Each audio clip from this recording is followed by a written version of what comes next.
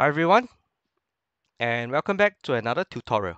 In today's tutorial, I'm going to show you how to create a SSH tunnel, right? Uh, and use the local port forwarding feature to a Debian 11 server uh, on the internet, right? So um, it's always good for pen testers to get familiarized with the various tactics or techniques that the cyber criminal could be using, right? And uh, SSH tunnel, whether it's local port forwarding or a reverse port forwarding capabilities, is a commonly used feature by cyber criminal to get unauthorized access to your internal resources or internal application, right? Of course, uh, for those who are a little bit more tech savvy, uh, you might set up uh, SSH proxy or SSH tunneling to get access to your resources or your test lab without having to open additional port, firewall ports in the internet,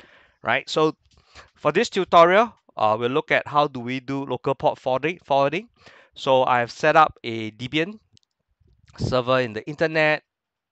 I'm going, uh, and at the same time, I have set up a XRDP service on the Debian server. I'm going to just allow uh, port 22. So you will see that in my tutorial later, uh, you know, how can we uh, turn on port 3389 just to show you that, um, you know, by turning port 3389, you can actually access the XRDP directly through the UFW firewall. Uh, and then I will show you how it looks like when I turn off port 3389 and then how do we use a very simple command to tunnel uh, port 3389 or XRDP through the SSH tunnel that we're going to establish. Right, so with that, let's hop over to my Linux instance. So let me just start fresh. Okay, so this is my Debian uh, server on the internet itself. So what we're going to do is to just take a quick look at our UFW firewall, right? So if I do a UFW status, verbose, I should see that currently I only have port 22 open, right? So look at my IP address. Okay, it's a public IP address. I'm going to tear down the server after this demo. Uh, so, you know, that's a good thing about having a cloud infrastructure, right? Uh, I'm using DigitalOcean, right? And it allows me to quickly spin off a VPS for my testing, my uh, coding, my development, right? Uh, and it is really fast. And yeah, it allows me to do a lot of testing, uh, you know, quickly without having to keep my infrastructure in my on-prem uh, environment. Okay, so let's start off by just you know enabling uh, 3389. So we just use as sudo ufw allow 3389. So this is a command. So you can see uh, you can use the ufw show added command to see what is being added or you can just use the status verbose command and you can see that we have 3389 open. Now, now let me hop over to my RDP client, right? So over here, I have configured, you know, a direct uh, public IP address, and then I'm going to try and connect. As you can see, when I try to initiate, it will prompt me to connect, and then all I need to do is to enter my username and password.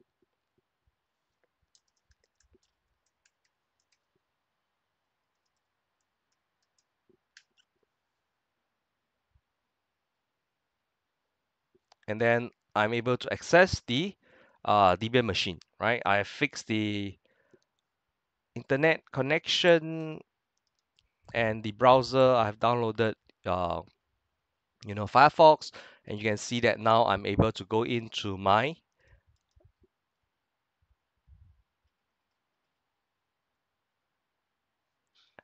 Debian machine, right? I have a graphical web user interface.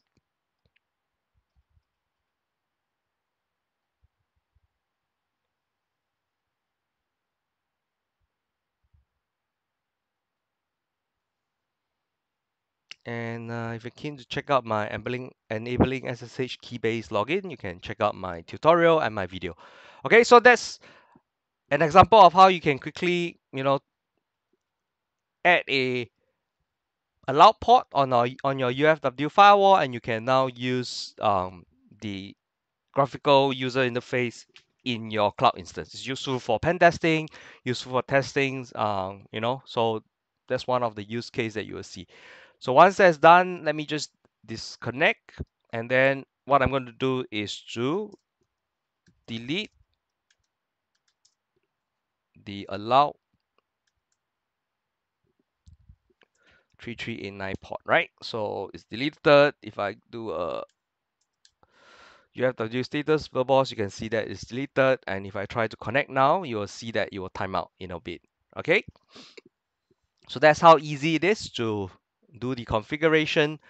So to initiate the command to connect or establish the tunnel for port forwarding, okay, you can see that it's disconnected. Let's just do this. Um, the syntax is actually very easy, right? So you can see here, um, the syntax is really SSH, you know, using the minus L option. You can specify the bind address, the port, the remote host, the remote port, and then followed by the user login, right? If you're using um, user password, username and password login, this is the syntax. Uh, if you want to establish with a more secure uh, SSH key-based login, um, you just need to add in the minus i followed by the private key syntax. Okay, so we're going to use uh, the key-based login, right? This is more secure. So let's hop over. Let's um, change my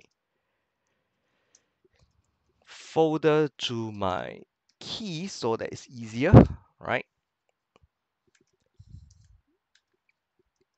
So I'm going to use the command SSH followed by minus i followed by the key right? And then now um, you can specify all address and just specify the port that you want to connect, or you can, in my case, only allow localhost to connect, right? Which is uh, 127.0.0.1 followed by port. I can use port 3389 or any other port, right? To make it simple, I'm going to use 3389 and then followed by colon and the IP address, right? So let's check the IP address. Okay, my public IP address is the following. Just copy and then followed by the username and then the server IP, right? So you can see it's as simple as that, right? So you have once that is done, oops, sorry, I have uh, missed out the remote port 3389. Okay.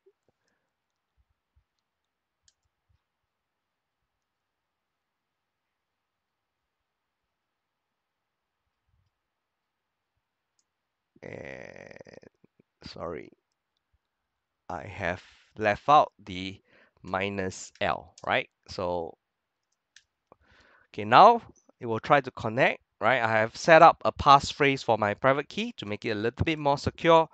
So I'm going to key in the passphrase. This is not the password of the user. It's the passphrase that you have uh, specified to create uh, when you are creating the uh, private and public key pair, right? If you have not entered a passphrase, then you will not see the prompt. Okay, so once it's done, you can see that you have established a connection, right? So if I go over back to my Debian server, which is same, right? And I do a netstat minus ANTP, you will see that currently there is a um, established from my machine, right?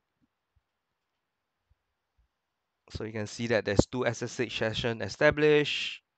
And then what we're going to do is to clear this. Okay. And then now, um, what I'm going to do is to show you on the RDP side, right? Just to show you that the 3389 port is not turned on for the firewall. We'll try and connect it through the uh, public IP address. You can see that it is getting timeout, right? At the same time, what we're going to do is to, as you can see, it's timeout. We have blocked the connection directly. Now we're going to do is to change this, right? Uh, by using the SSH tunnel.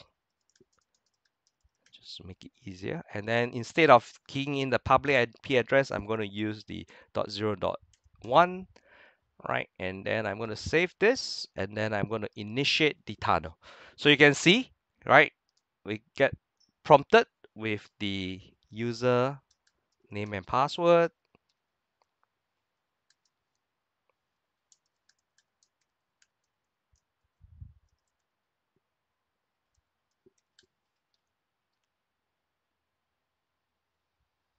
Okay, and you can see that we have logged into the RDP session, right?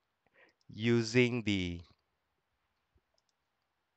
tunnel, right? And I would be able to surf the internet as per normal. Looks a little bit faster, to be frank. And then if I do a netstat minus ANTP, you will see that I have established a port 33 through 3389, right? So a port has been established through 3389 and you will realize that it is through the public IP address. So this is a tunnel. We have the uh, tunnel established using port, two, two, port 22 and then we have now established a remote RDP session through the SSH tunnel.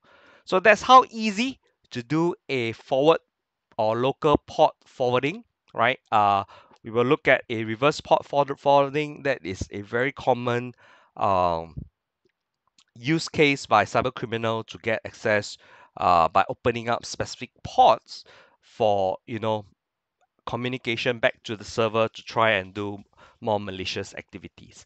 Right so hopefully uh you know this tutorial is helpful for those who are trying out um you know local port forwarding through SSH tunnel. And if you are doing your OSCP I think understanding the local port forwarding and reverse port forwarding uh is also useful uh in some of the tutorial and the lab that you're doing right? To understand how to uh use SSH tunneling to get into uh, the internal zone, right? Um, you know, so these are very useful command, very useful capabilities, especially if you are learning. Um, you know, a great way to set up a lab in the cloud and test out your uh, environment.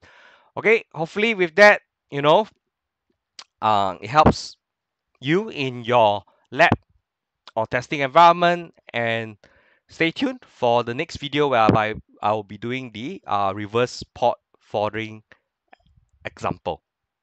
Thank you and stay safe.